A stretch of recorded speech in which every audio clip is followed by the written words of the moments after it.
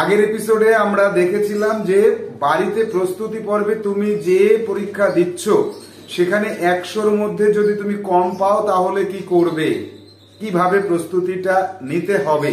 আর আজকের আলোচ্য বিষয়, বাড়িতে পরীক্ষায় তুমি প্রত্যেক দিন একশোর মধ্যে একশো পাচ্ছ। তাহলে তুমি কি করবে? বাড়ির পরীক্ষাতে আমি নির্দিষ্ট একটা বই বা দুটো বই থেকে পরীক্ষা দিচ্ছি, তাহলে একশো একশো যদি পাই পরীক্ষার হলে গিয়েও একশো একশো পাবো। রোজ তুমি একটা করে পরীক্ষা দিচ্ছ আর বেশ কিছু চ্যাপ্টারের অঙ্ক তুমি করছ বা ফিগার নিয়ে তুমি সলভ করছ। কিন্তু সমীক্ষা এটা দেখা গেছে যে বাড়িতে পরীক্ষায় একশো একশো পাচ্ছে প্রতিদিন, এমন স্টুডেন্টসদের মধ্যেও অনেকেই ফাইনাল পরীক্ষাতে গিয়ে চান্স পায়নি। কেমন কথা হলো এটা? বাড়িতে যদি একশো একশো পায় তাহলে পরীক্ষার হলে গিয়ে চান্স পাচ্ছে না কেন? কোথায় কোথায় অসুবিধা হচ্ছে?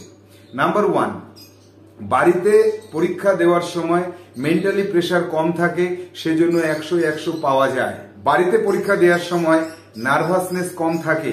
নিজের পরিচিত ঘরে বসে পরীক্ষা দিচ্ছি, তাহলে আমার মাথায় এক্সট্রা কোনো বার্ডেন নেই।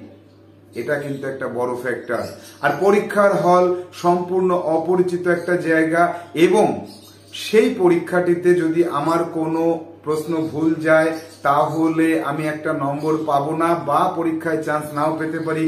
এই চিন্তা ভাবনাগুলো মাথায় থাকে, বাড়ির পরীক্ষাতে সেই চিন্তাটা মাথায় থাকে না। আজকে যদি দুটো ভুল যায়, তাও কিছু হবে না, দশটা ভুল গেলেও কিছু হবে না। তো এই যে মাথার উপরে একটা প্রেশার না থাকার জন্য একশোতে একশো পাওয়া যাচ্ছে। আমি সেই জায়গাতে যাব না। আমি আসব যে বাড়িতে পরীক্ষায় যদি একশোই একশো পাই, তাহলে আমার কি করণীয় আছে? অধিকাংশ ক্ষেত্রে এটা দেখা যায় যে বাড়ির পরীক্ষাতে যদি একশো একশো পায় কেউ, তাহলে সে ওই কোশ্চেন পেপারটা নিয়ে আর চিন্তা ভাবনা করে না। কারণ ওই প্রশ্নে আমি একশো একশো পেয়ে গেছি। একশোই একশো পেয়ে গেছি, আর ওই প্রশ্নে আমার কোনো অসুবিধা নেই। এই চিন্তা ভাবনাটা যত গ্রো করবে ছাত্রছাত্রীর মধ্যে, ততই কিন্তু সে ক্রমাগত ফাইনাল পরীক্ষার হলে ওই দুটো ঘন্টাতে কি করবে সেই জায়গা থেকে একটু একটু করে মাইনাস পয়েন্টে চলে আসে।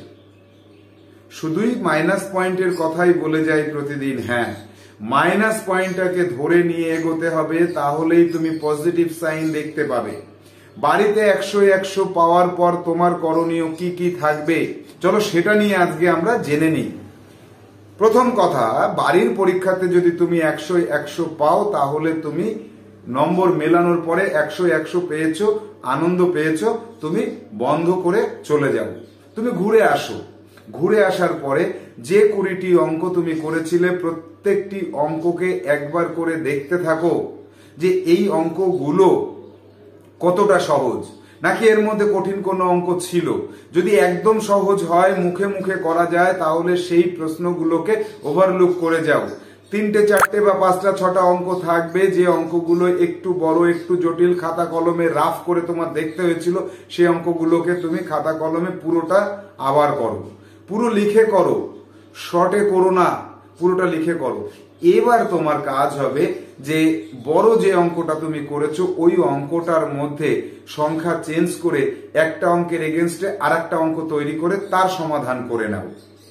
বেশি অঙ্ক করতে হচ্ছে না, কুড়িটার মধ্যে পাঁচ থেকে ছটা অঙ্ক করতে হচ্ছে। বাকিগুলো তুমি খাতা কলমের সাহায্য ছাড়াই মুখে মুখে উত্তর করতে পেরেছিলে, সেগুলোকে একবার দেখে যাচ্ছ, তাতে কিন্তু তোমার ব্রেনে একবার করে হ্যামারিং হচ্ছে। যে অঙ্কগুলো বড় সেগুলো তুমি যখন খাতাতে আবার করছ, বেশ কয়েকবার হ্যামারিং হচ্ছে এবং সেখান থেকে তুমি যখন প্রশ্ন তৈরি করছ তখন তোমার মাথায় কিন্তু ওই অঙ্কটার বিষয়ে বহুবার হ্যামারিং হচ্ছে এবং সেই সমস্যাটা তৈরি করার পরে তুমি সমাধান করতে গিয়ে দেখছ যে তুমি যে যে সংখ্যাগুলোকে ধরেছো, সেই সেই সংখ্যাগুলো ধরলে উত্তর করা কঠিন হয়ে যাচ্ছে। তাহলে তোমার সংখ্যাগুলোকে চেঞ্জ করার জায়গায় কোন দিকে নজর রাখতে হবে সেই জায়গাগুলো তোমার মাথায় চলে আসবে। অর্থাৎ ওই একটা সমস্যা নিয়ে তোমার মাথায় বারংবার হ্যামারিং হতে থাকবে। এই বারংবার হ্যামারিং এর মাধ্যমে ওই বিষয়গুলো তোমার কাছে একদম ইজি হয়ে যাবে। এবার চলে আসব ফিগারে তুমি যে চল্লিশটা ফিগারের উত্তর করেছ, সে চল্লিশটা ফিগার তোমার কাছে একদম ইজি এবং তুমি ইজি বলেই সমাধান করতে পেরেছ এবং চল্লিশটাই কারেক্ট করেছ। ওই চল্লিশটা প্রশ্নকে, ওই চল্লিশটা ফিগারকে তুমি সম্পূর্ণ নতুন ভাবে সাজাও। নিজে হাতে আঁকো। একদম নতুন। হুবহু একই রকম না বা ওর উল্টো ছবিটা সেটা নয়। যখন তুমি একশো একশো পেয়ে গেছো, তখন তোমাকে উল্টো বা হুবহু একই রকম এই দুটোর কোনোটাই করা যাবে না।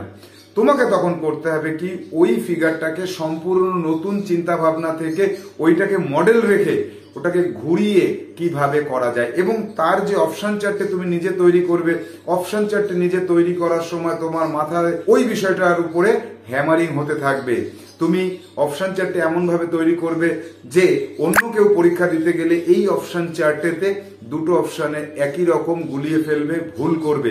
এই যে চিন্তা ভাবনাটা তোমার অপশন তৈরি করার সময় আসছে, এই চিন্তা ভাবনা থেকে ওই বিষয়টার উপর তোমার দক্ষতা অনেক অনেক অনেক গুণ বেড়ে যাবে। এবার চলে আসব আমরা বাংলাতে। বাংলা অনুচ্ছেদে তুমি কি করবে? কুড়িটা প্রশ্নেরই সঠিক উত্তর করতে পেরেছ, তারপরেও তুমি ওই অনুচ্ছেদগুলোকে নাও। একটা অনুচ্ছেদকে থরলি একবার পড়ো। পড়ার পরে নিজের মন থেকে দশটা প্রশ্ন তৈরি করো। একটু কঠিন দেখে প্রশ্ন তৈরি করো। এরপর তুমি কি করবে?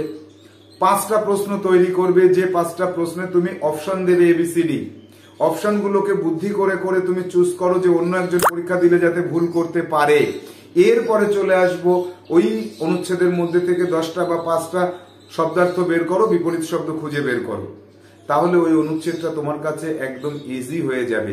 এই প্র্যাকটিসটা চালিয়ে যেতে হবে অন্তত পক্ষে দুই থেকে তিন ঘণ্টা বা চার ঘণ্টা। তুমি একশো একশো পেয়েছ, সবকটা প্রশ্নের উত্তর করতে পেরেছ, পরীক্ষার হলে এরকম প্রশ্ন আসলে তুমি পারবে। তারপরেও আমি তোমাকে তিন থেকে চার ঘণ্টা সময় ব্যয় করতে বলছি। এই তিন থেকে চার ঘণ্টা সময় তোমাকে পরীক্ষার হলে যে উপকারটা দেবে সেই উপকারটা তুমি আজকে বুঝতে পারছ না, কিন্তু পরীক্ষার হলে গিয়ে এই অভ্যাসটা করে যাওয়ার পরে তোমার কাছে পরীক্ষা হয়ে যাবে একদম সহজ, সরল, প্রাঞ্জল। পরীক্ষায় তুমি চান্স পাবেই, পাবে। তাহলে আর দেরি কেন? আজ থেকে পরীক্ষা দাও, একশোর কম যদি পাও, কালকে যেভাবে বলেছিলাম, ওইভাবে প্র্যাকটিস করবে। আর যদি তুমি একশো একশো পেয়ে যাও। আজকে যে কথাগুলো বললাম, এইভাবে প্র্যাকটিস করো। তাহলে দেখবে যে পরীক্ষায় সাফল্য তোমার কাছে একদম ধরা বাঁধা জিনিস হয়ে যাবে। তো ভালো থাকো, সুস্থ থাকো, এইভাবে প্র্যাকটিস করতে থাকো।